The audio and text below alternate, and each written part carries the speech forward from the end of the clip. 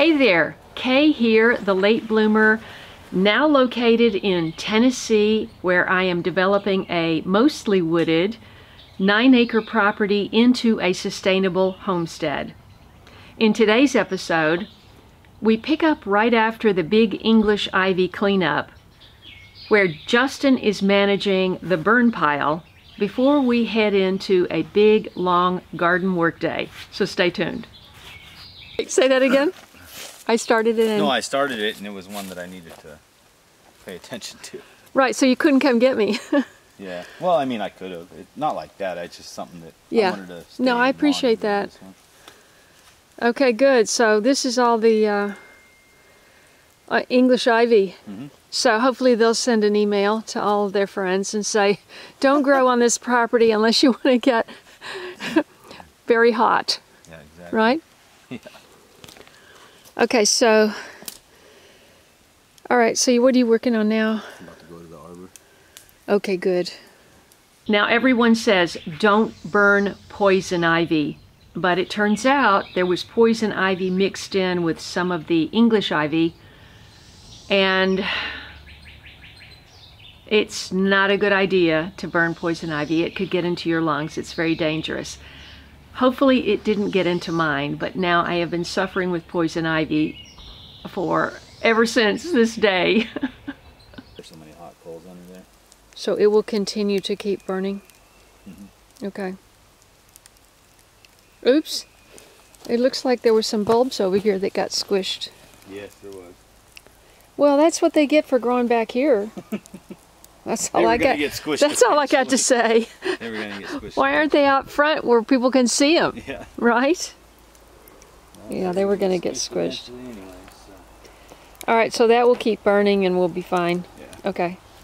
But on this day, I was still blissfully ignorant of my contact with poison ivy, and as he kept an eye on the burn pile, we went over to start working in the terraced garden. We took a look at the purple passion asparagus popping up before I launched into planting another raised bed of cool season vegetables. Full on asparagus, there's one too. Well, they're two years. Point to it so I can see where it. Oh, okay. There. Right here. They're all about to just oh, right wow. out of this. You're thing. right. Right along with the nutgrass. That's awesome. While I laid out the bed, Justin was shaping the new cedar arbor. We decided on a very simple design. He has some decorative touches he's still going to put on it. Basically, this was chicken wire and T-posts before, so it's a huge improvement in appearance.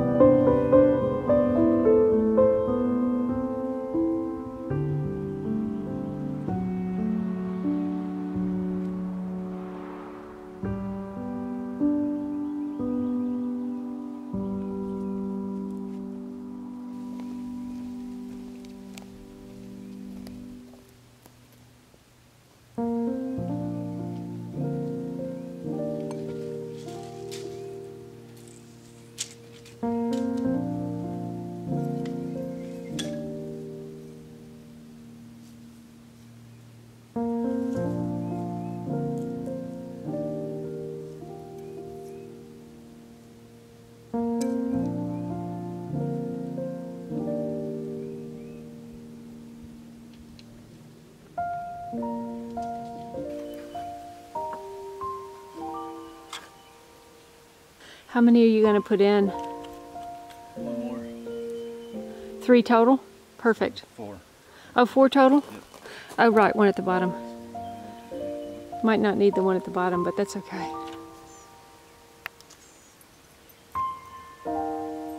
What, you see more shoots coming out of the ground? No, I mean. Is that what you're saying? Like these Oh, yeah. and these little guys. They got these ones. Yeah. These. Can train them up. Right. There's the other new one.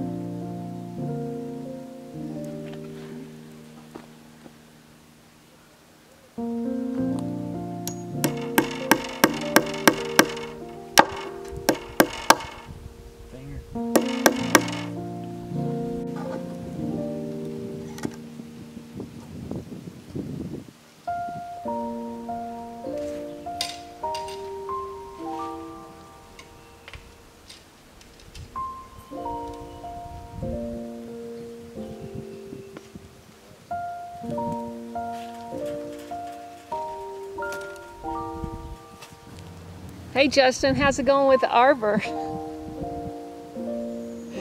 Is it all done? It's Almost. almost all done, yes. Uh, got the top done, got the sides done with the string. Um, the only thing really left is the bottom row. I didn't get enough to the bottom row, but other than that, it's just doing the little decorative stuff on the outside. Great. We got, it'll be done. By one o'clock, the scheduled mowers had descended upon the property and were everywhere, weed eating and mowing. And, you know, I had really waited until the very last moment to get that first mow in this year because you wait any longer and you've got knee high weeds and you encourage snakes and mice and all of that. And not to mention poison ivy. I never imagined poison ivy was growing in my yard, in my working space, but it is. And um, I'm not someone who likes chemicals in my body or in my space. And I'm all organic, but I'm going to have to take stronger measures to beat back this poison ivy.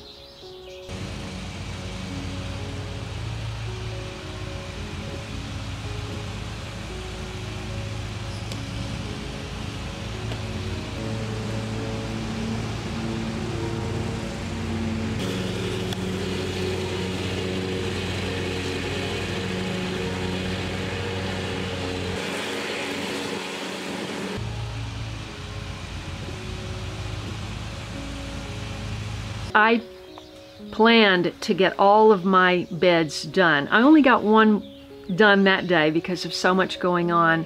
As the mowers were working all around us, I had finished putting the vegetables in, and Justin and I were putting the voile over the bed.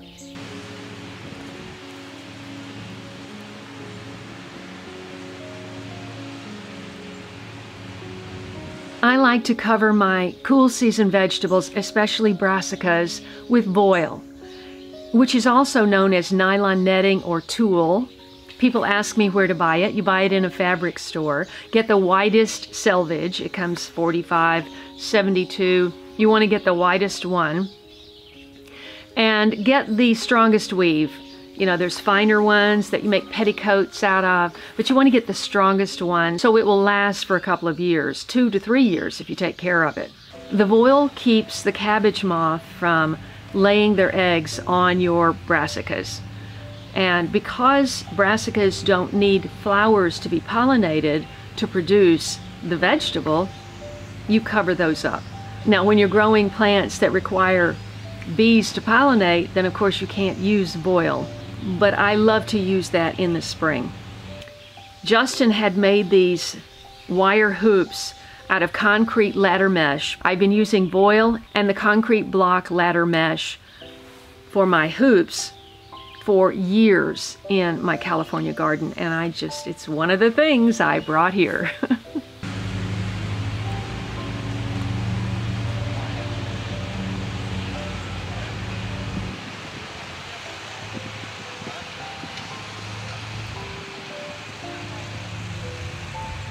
In my first winter garden in California, I had bought some row cover cloth, the white cloth to protect your vegetables against frost and also against pest pressure. But they were all covered up. I couldn't see inside and see what was going on without having to open it all up.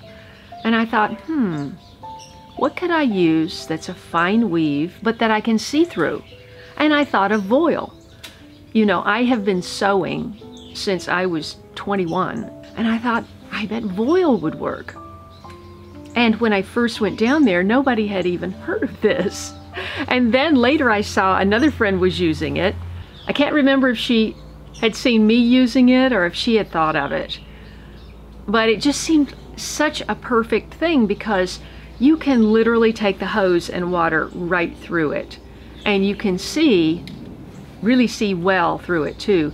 Now, I've heard that white is not as good as a color, but the reason I use red is because I love red. I have a red Prius, I have a red Chevy pickup truck, I have late bloomer red, my mugs, I just love red. So I think it's cheerful.